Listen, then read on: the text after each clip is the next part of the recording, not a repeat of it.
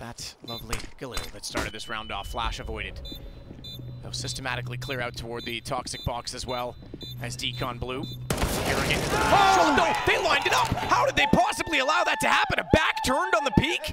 There's no way he got back to that side of the map. Car I feel like I don't know what the deal is with karrigan, but he's had so many clutches recently where people just randomly line up for him, just randomly run into his crosshair, and that is one that is going to hurt for Vitality. That should have never.